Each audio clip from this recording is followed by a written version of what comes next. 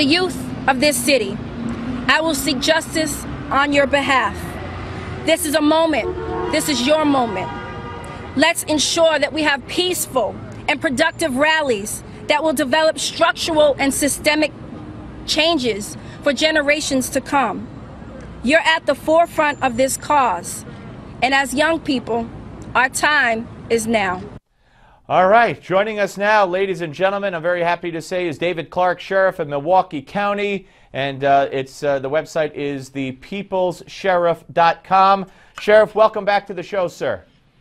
Thanks. It's always a pleasure, and they can follow me on Twitter at Sheriff Clarke, Clarke C L A R K E. Great. At Sheriff Clarke, C L A R K E. Okay, at Sheriff Clarke. Let me let me ask you. Uh, you you just heard some of what Alan Dershowitz had to say in the previous segment. Um, I know that you're not happy about this either. Not at all. Uh, look, this uh, state's attorney is a neophyte. She's a political activist. That was a phenomenal political statement. It was inconsistent with the rule of law. It was inconsistent with our system of justice. Uh, that was more a statement about revenge.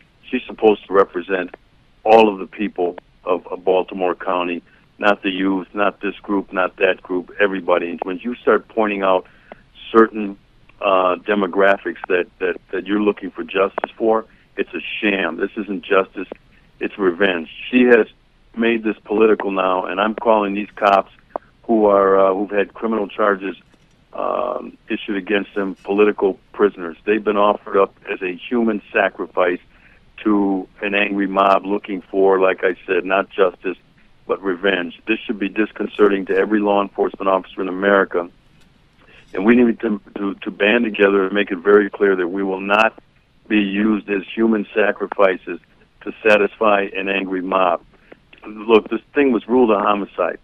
A homicide is just a manner of death, as as compared to say a suicide, uh, accidental death, or um, natural causes. Just because a death is ruled a homicide does not mean that somebody is criminally responsible. Right, Sheriff. I Sheriff, not to interrupt, but what wasn't the Michael Brown shooting ruled a homicide, and the Eric Garner case ruled a homicide as well? Exactly, and that's why I point that out. That doesn't mean that somebody is criminally responsible for it. And I don't know all the facts of the case, but I don't have to. After listening to that political statement by that neophyte prosecutor, uh, who demonstrated to me that she's nothing more than a political activist. You cannot toy with our system of justice in the United States uh, in the fashion that she is. I believe in our system of justice. I believe these officers will get real justice as time goes on. This is early in the process, and I tell people be patient, trust the process uh, and, and the process, more times than not, comes to the right conclusion. And I think these officers will be exonerated. But it's unfortunate that they're going to have to go through hell. Their lives have been turned upside down. And uh, that's the thing that has me incensed today. Let me ask you, because of your expertise as a, as a law enforcement officer, sir, um, the, the, murder. I mean, murder. If you know, he was in the he was in the police van. Um, is there is there any circumstance that you could envision where these police officers, I mean, the union, naturally the union will come to their defense. The lawyer who's representing them already made a statement and said that they did nothing wrong, that nothing they did or didn't do contributed to this man's death. Um, I also hear that the rules about putting a seatbelt on or buckling up the prisoner in the van are so new that they hadn't even been written up yet and hadn't been distributed to all the officers yet. So, do, I mean, eh, eh, explain to what do you think happened in that van, and what do you think the, the cops did as far as following procedure? Well, I don't know what happened in that van. I wasn't there. I don't have access to all of the reports and all of the evidence. I haven't seen the inside of the van, so I would be uh, contradicting my own advice for people to uh, right, right. Uh, hold their, you know, hold their fire, keep their powder dry on this. We'll know soon enough. We know that something happened to Freddie Gray. All right, it's pretty obvious. It was not a natural death. However, that does not mean just because something happened to him and he died that the cops are automatically responsible for that death. I heard this prosecutor at this news conference uh, stand up and say that they stopped two times and did not render aid. Sure, that's problematic. However, it doesn't make it criminal. There may be some civil tort here. There may be some rules violations.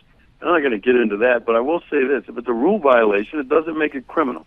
If there's some civil tort here, well, then that's handled in our, our, our civil courts. It's not handled in our criminal court, and we don't try to uh, make up for this with some sham criminal charges against Baltimore's And, finest. and, and Sheriff, uh, you know, you heard her say that she wants the youth to be part of a, uh, a, a, a movement for systematic change. Uh, yesterday, Al Sharpton said, and the mayor of Baltimore spoke at his function, said that we need the Justice Department to take over the police forces in this country. Isn't that the goal of, of, of what's going on, not only here, but around the country right now? Without a doubt, and it's happening in cities all across America now. But another thing that she said uh, that incensed me, she said, I hear the voices. She's not supposed to hear voices. A competent prosecutor knows this is George Zimmerman and the Duke Lacrosse case all over again. An overzealous prosecuting attorney hearing the voices. She is supposed to shut that out, read all of the, the, the hundreds of pages of reports, which, by the way, she couldn't do in a 24 hour period. That's another topic for another day. And I'm an experienced homicide investigator, and I know how these uh, investigations work and how the charging conferences go. But she's supposed to look at all of the evidence, wait for the forensics examinations to come back. There's some stuff that the forensics exam hasn't been concluded.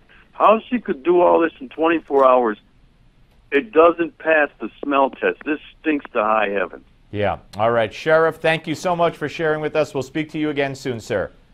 Sounds good. Thank you. Take care. Sheriff uh, of Milwaukee County, uh, David Clarke, uh, ladies and gentlemen. And uh, as long as there are voices out there like his, and, uh, and in this case, uh, from a legal standpoint, like Alan Dershowitz, uh, maybe these men will get justice in the end. We're coming back with the panel. Don't go away.